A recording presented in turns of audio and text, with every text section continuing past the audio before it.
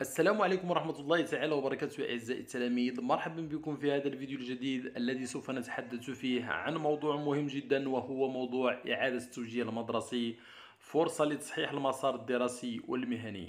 هناك الكثير من التلاميذ يعني بعد تعبئتهم للتوجيه لاحظوا أن تلك الشعب التي اختاروها غير موافقة بالنسبة لهم وهناك كذلك من لم يملأ بطاقة الرغبات في مسار أو من كانت لديه أي مشاكل حول التوجيه فهناك فرصة ثانية يعني لإعادة التوجيه.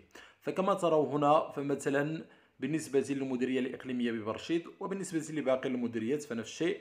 مصلحة تأطير المؤسسات التعليمية والتوجيه تعلن أن عملية إعادة التوجيه ستنطلق على البوابة الرقمية للتوجيه وذلك خلال الفترة الممتدة من 1 يوليوز 2021 إلى 20 منه يعني إلى 20 يوليوز.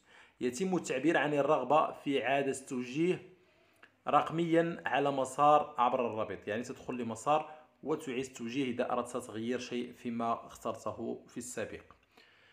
إذا نفس الشيء بالنسبة للمديريات الأخرى فكما نرى هنا مثلا آه، بالنسبة للمديرية الإقليمية بمعاملة يعني الحي الحسني.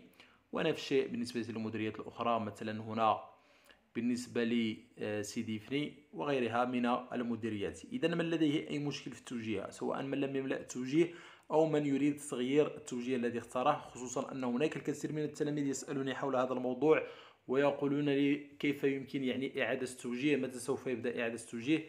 إذا إعادة التوجيه سوف تكون من 1 إلى 20 يوليوز 2021 إذا لا تنسوا أن تشاركوا هذا الموضوع مع جميع أصدقائكم لأن موضوع التوجيه فهو موضوع مهم جدا. لكي يعيد جميع التلاميذ الذين يعني لم يختاروا التوجيه جيدا. التوجيه فقط تدخل إلى مسار. إذا لم تعرف طريقة التوجيه فقد وضعت لكم عدة فيديوهات تتحدث حول هذا الموضوع يمكنكم الرجوع إليها. إذا مرحبا بكم في قناتكم على اليوتيوب Pro Format لا تنسى الضغط على زر j'aime ومشاركة هذا الموضوع مع أصدقائك بالضغط على partage تحت الفيديو.